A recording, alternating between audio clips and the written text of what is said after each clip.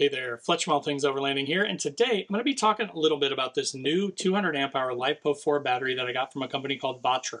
I'm going to kind of walk you through my power consumption needs and how my needs have changed over the last five, six, seven years of doing overlanding and, and, and long distance camping. I'm going to talk a little bit about my solar setup, and I'm going to talk about why I'm switching to this Vatrer 200 amp hour heated built-in BMS uh, Bluetooth battery.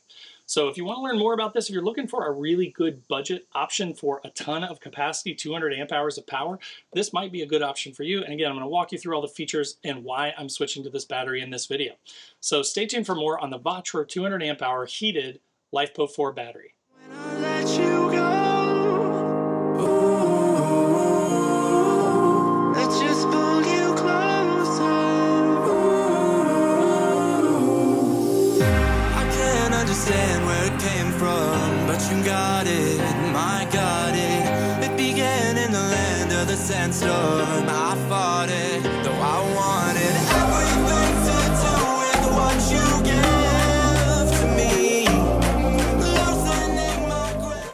So with the 200 amp hour battery that I have now, it's not heated. And last winter, I kind of ran into the problems going camping a lot in the winter where you know, I couldn't get the battery to charge basically. It, it, was too cold, it would never get to temp, especially because in my situation it's in the back of the truck.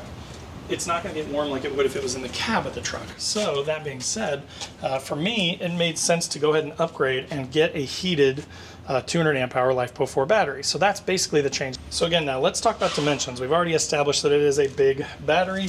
So the dimensions are that it is about 8.58 inches thick. It is about 20 and a half inches long and then it is about 9.4 inches tall. As far as actually connecting power, this is what I love about having like a dedicated house battery like this. There are basically some screw-in posts for positive and negative.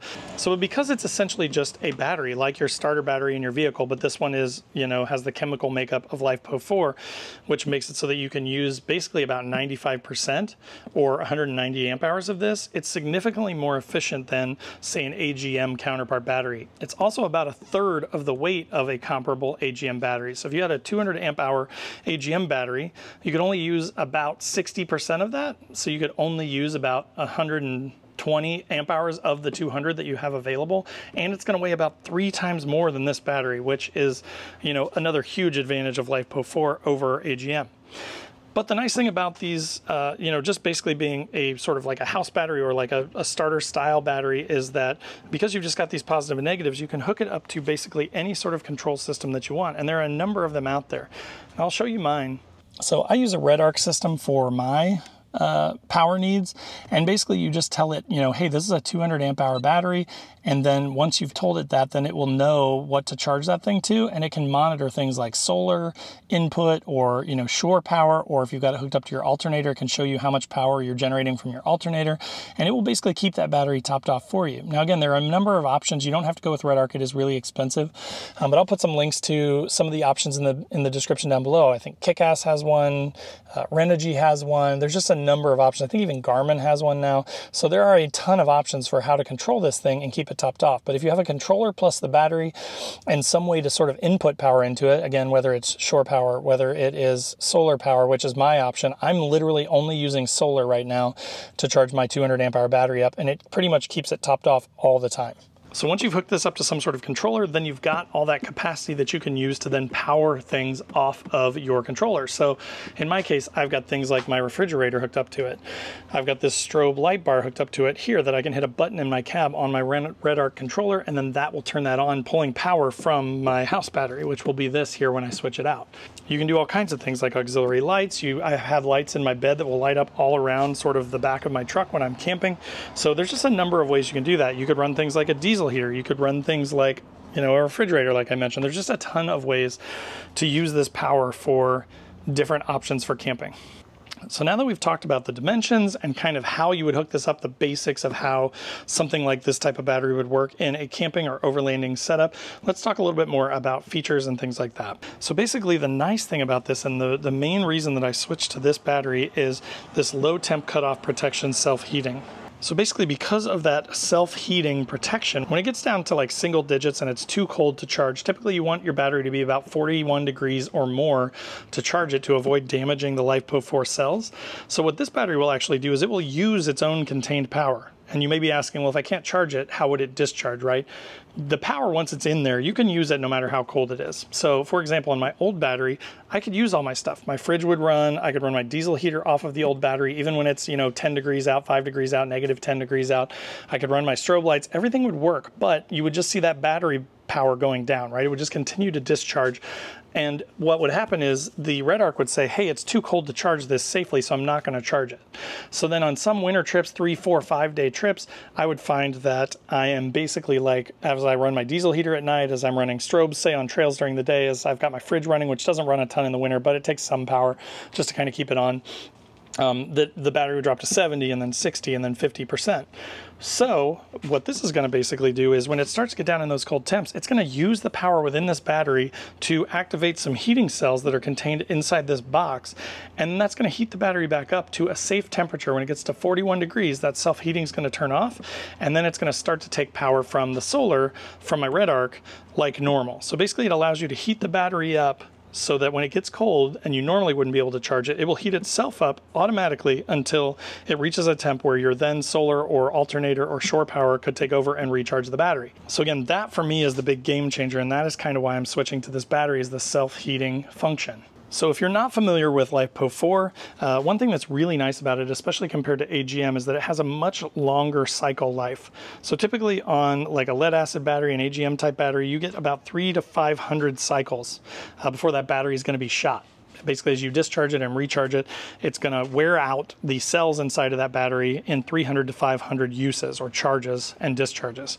With a LiFePO 4, you get 5,000 plus cycles. So the nice thing is, again, this from a longevity standpoint for the, you know, just a little bit more than AGM batteries, but for the significant weight savings, you're going to get significantly more use out of this. I anticipate using this for probably the next six to 10 years, just kind of depending on how much I use it.